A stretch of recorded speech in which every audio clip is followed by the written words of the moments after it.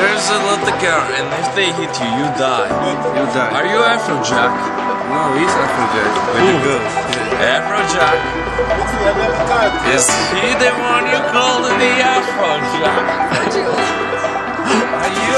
He I feel is like the most uncomfortable situation ever. You could be more uncomfortable by stripping your bikini on, gypsy. I'm kidding.